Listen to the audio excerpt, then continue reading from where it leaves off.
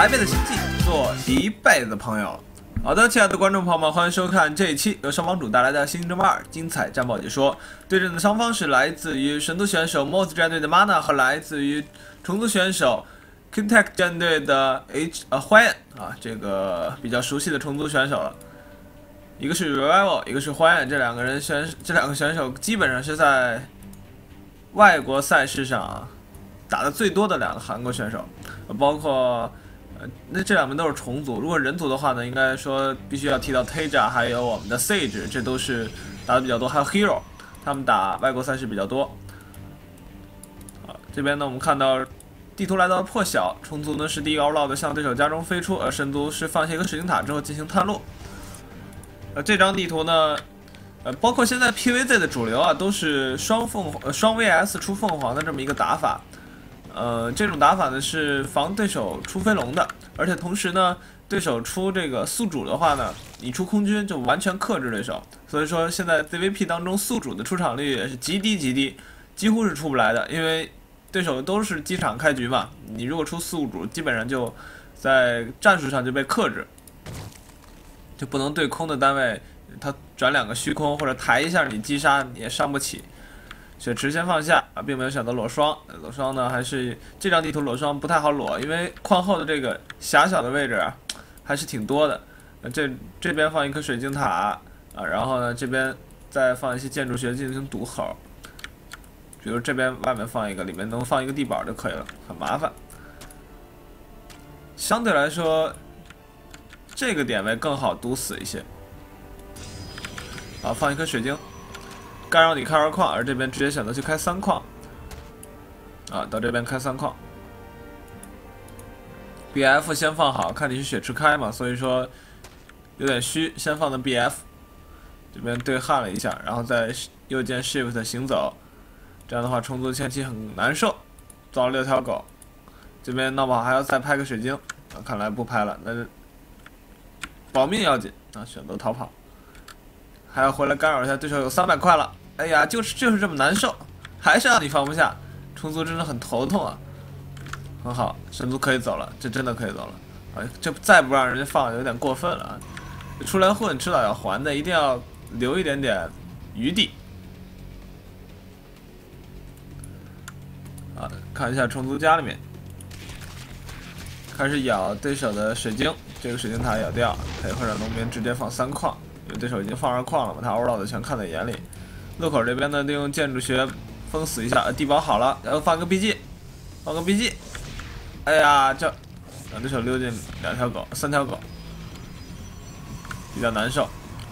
接下来叉子出来之前啊，基本上是农民没有好过的日子，杀你一个算一个啊。红血农民稍微调一下，放到中间去。啊，这边小狗过来，哎呀，没围住，农民这被干扰的还是非常难受的。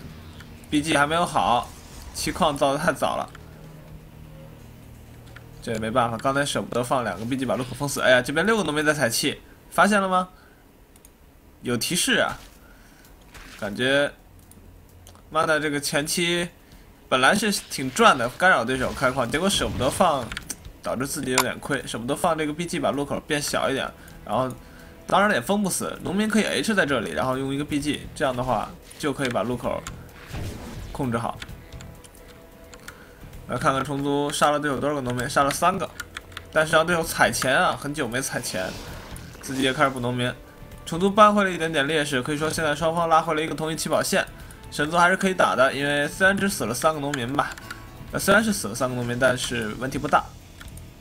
好，BY 快好了，这个欧绕的该飞就飞吧，得撤且撤吧。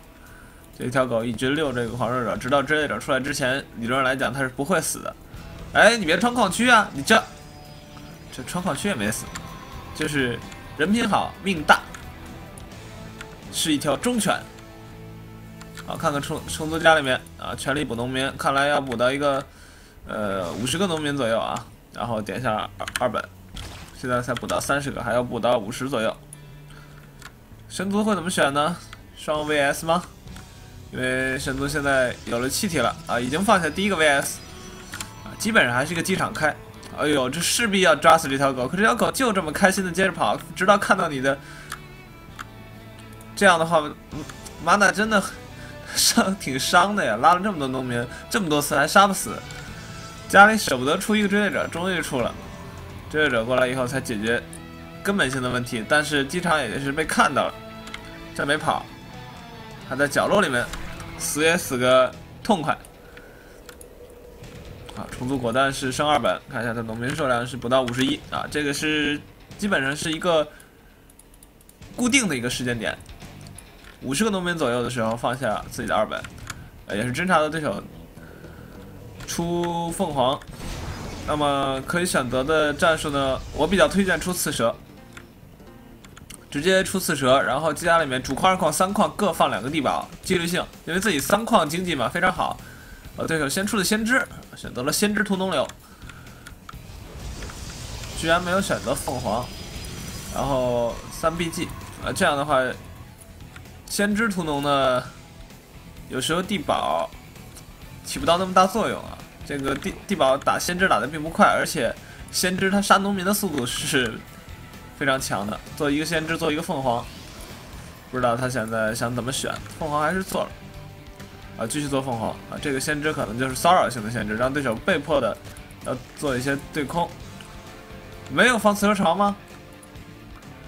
不放磁蛇巢吗？啊，放。啊，说也是，这个打法呢还是放磁蛇巢比较好一些。然后刺蛇的这一波呢，容易被对手接下来的 VR 里面出直接跳巨象的这么一个打打法去针对啊。所以推荐大家刺蛇防守住对手这波骚扰之后，直接选择一波进攻。好，先知过去屠龙，直接把这个抬起来，就是这种效果，啊，小妈妈船和加凤凰，这个凤凰就抬着皇后，让对手没有办法去输出自己的先知。好，这先知选择了抢点这个皇后啊，好，这边又抬起来，这种小骚扰，妈的做的还是不错。后来已经开始生产刺蛇，这波应该把神族可以赶回去了。神族家里面呢？转型到 VR 里面出的是 OB，并没有继续研发科技，升的是地面部队的一防，看来要打地面了，并并不是说想把空军爆到死。好，这边是研究了，一般情况下我们现在都是研究刺蛇的提速在先，因为有了提速以后，你才不会被对手操作，你才能有机动性，包括你支援每个矿区的时候也非常有效，直接转到了巨象。这水晶马的 mana 非常漂亮，虫族家里面呢，一攻一防是正在升，马上升好，刺蛇也是开始升级自己的科技，转到这波刺蛇一定要压一波，换有这个做举动吗？因为你不压的话呢，对手巨象出来，你的刺蛇就被克，趁现在对手没有克制你的单位，这个凤凰战机一般打不过的，不过对手这个叉子跟哨兵真是不少。还是可以跟刺蛇一战的，不过配合上地面的小狗呢，你看这波出去还是有效的，一定会压一波。如果你不压的话，对手直接出巨象来克制你，就真的没得打了。好，开始生产巨象，这波势在必得，要要打三矿。我感觉 mana 能守住啊，这哨兵很多，立场隔一隔，叉叉兵打这个小狗和刺蛇还是很厉害的。关键他现在兵营也好了，可以六兵营传兵。对手没有去三矿吗？就走二矿路口可就悲剧了，这路口太狭小，这波能守住。虫族自己浪费了 timing，这个早一点进攻什么事儿都没有了，这太晚了。江山王虫过来想清对手 OB，虫族自己家里面也是运营的很开心，这时候该开四矿了啊，果然放下四矿。虫族家里面继续生产巨象，然后开始刷兵。三矿看来是点不掉了，这三矿马上就造好了。神族的部队已经过来，留了一个幻象凤凰在那边侦查，注意一下这边的操作。好，但是基地要等好了以后才能释放自动炮台，啊，但是拖拖时间就够了，这是立场很能拖的。一个幻象的凤凰去侦察对手家里面的科技走向。虫族其实放的是龙塔，这是针对巨象的，基本上是一个刺蛇、蟑螂加巨象的这么一个比较老的组合。当然蟑螂可以少出一点，我推荐是刺蛇加腐化，非常有效，行之有效的一个办法。刺蛇虽说叉叉兵打刺蛇也快，但刺蛇打叉叉兵也很快。刺蛇 DPS 非常高，那升自己两攻两防，还是研究刺蛇的射程。腐化已经开始生产，四矿五矿连拍，五矿呢基本上不会踩钱，直接踩气就好了。这边补两个地堡，打人族补地堡比较常见，打虫族补地堡很少见。这是怕对手飞龙吗？哦，好像是侦察到对手有龙塔了，是吧？啊，对，侦察到有龙塔了，怪不得。但这两个地堡补的，一般情况下，这个刺蛇的组合哪有气出那么多飞龙去打这种脆弱流啊？刺蛇也脆，是飞龙也脆，一般情况下还是应该是出腐化的，这个有个预判。我妈呢还是谨慎啊，这个两个地堡加凤凰来守对手的飞龙，做了一个 VF，这是要变，这是要研究刺蛇呃这个凤凰的射程，四到六。哎，别别这样，我光看录像也可以掉线吗？好家伙，光看录像也可以掉线。小妈妈船守家。好，腐化加刺蛇，不过刺蛇有点少啊，这不够看。假的，直接秒掉。好，开始变宿主了。对手有这么多的凤凰，我感觉宿主效果并不好啊。过去如果把你抬起来，宿主就废了。当然了，这边有很多对空的力量。总的来说，巨象多了以后，宿主小虫子可以很快的清掉。只不过前排的叉叉兵可以被宿主换掉。花园这边终于是还是出了宿主，同时研究了蝗虫的生命周期。人口方面，一百七十六的一百七十三，虫族并没有什么优势，而且他两百人口，就对方也是两百人口，转型到了虚空。而 VF 里面并没有做科技的研发，好像。哎，凤凰科技并没有研发。这个先知留着干什么呀？留着反引啊。好，两个地堡把监察蝗虫直接拍掉。又是一个侦察的凤凰哦，小蝗虫已经出现了。啊，埋地拔起来，这波小虫子上去 A 一下，A 多少算多少。继续的侦察，凤凰的这个侦察用的幻象凤凰侦察做的还是不错的。好，宿主还在找机会爬。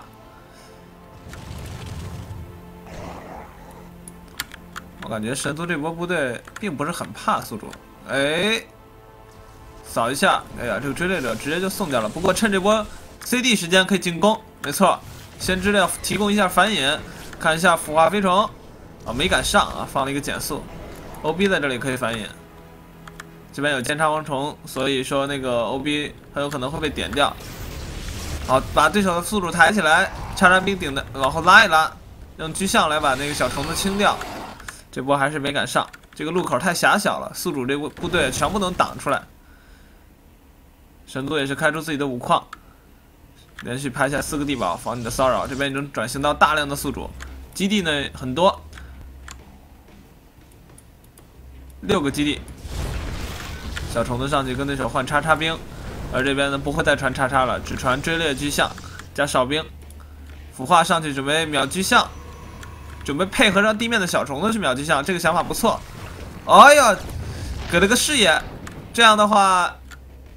我的巨象就可以躲着你来了，这个视野持续时间很长的这个冰花，以显形哈，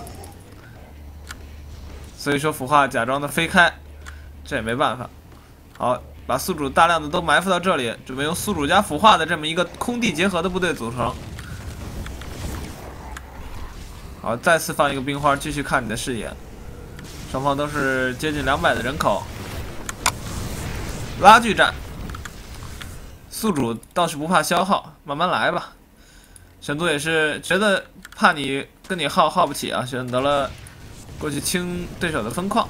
哎呀，这一次换一个兵就可以，要求不高。啊，这边也是一次甩掉一个对空就好，地面部队吸引点点火力。啊，这边两个地堡加小狗，好，刺蛇回来救，非常漂亮。花园这边的对多线的防守做的不错，mana 呢也是死守，你。也不敢强攻我，慢慢转型到虚空，这个虚空克宿主克的凶啊！秒宿主非常的快，而且虚空打腐化也可以说不太吃亏。虚空的充能一打开以后，腐化是有点遭不住的。好，上去秒巨象，没秒死啊，差一点点。好，回来甩一下，哇，虚空在追，各种光束，我们看这波可能是要进攻了。虫族的攻防还没有升到三攻三防，好家伙，小虫子配合一下，腐化往前打，很好。这个巨象的激光加虚空的激光死守这个点位，还是我觉得还是比较容易的。而神族这片矿一直没踩，我也觉得你守半天连踩都不踩。好，虚空上来跟巨象一起清对手的一个蝗虫，非常的快。啊，现在神族这个部队在局面上是有点优势的，腐化数量超多，上去不能跟追猎者这么打呀！就好，刺蛇地面全来了。这次有小蝗虫顶在前面敢上吗？这需要出感染虫了，这么多的虚空感染虫腐化加现在的这个蝗虫还可以打。好，我们看来是大战还是要等一等，这边是做了引刀 VD。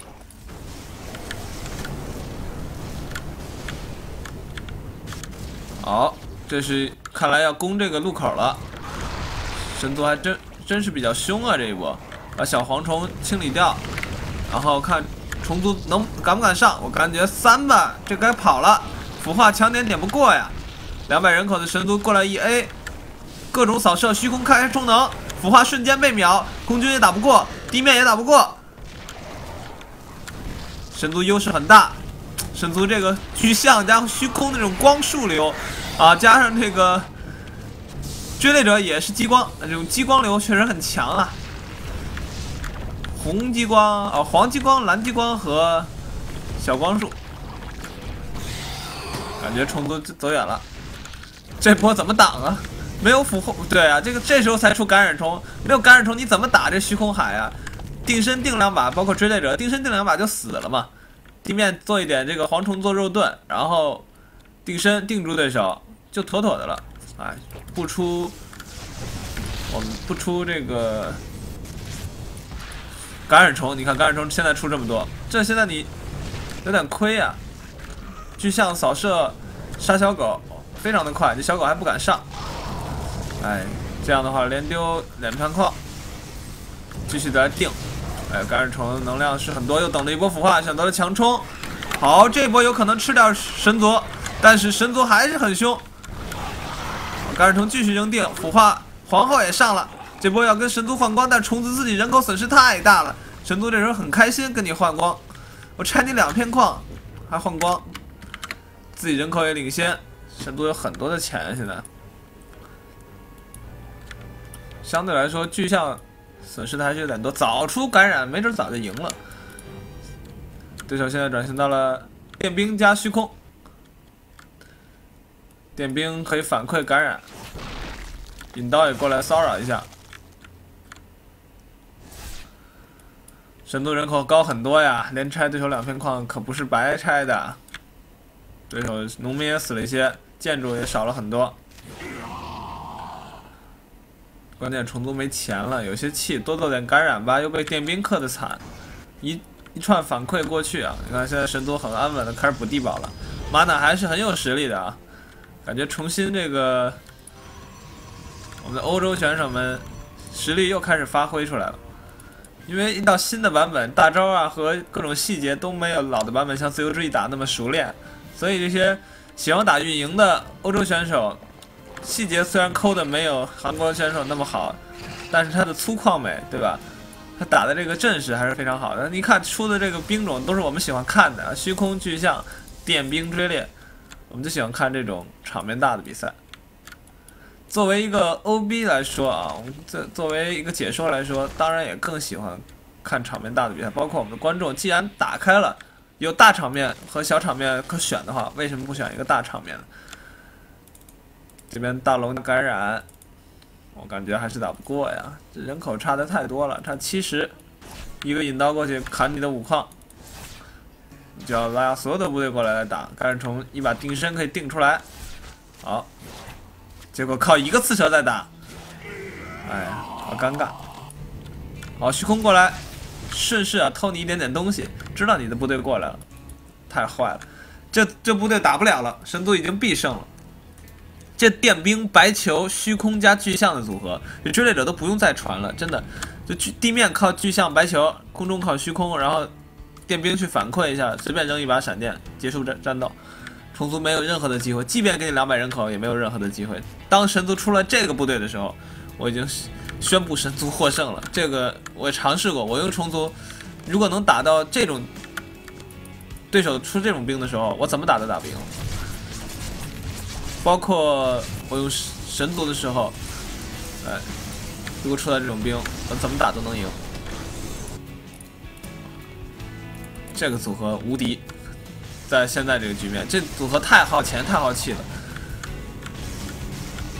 虫族的部队毕竟还是脆弱呀，一把闪电，这这种就是就是刚正面的部队，好几把闪电过去，杀他的农民，干虫定身。好，现在让你定也没关系，你看这片矿瞬间倒，虫族人口也不够，哇，这边闪电追着你打，然后把这边地面部队清光，引刀过去还在砍基地，把农民已经杀光了。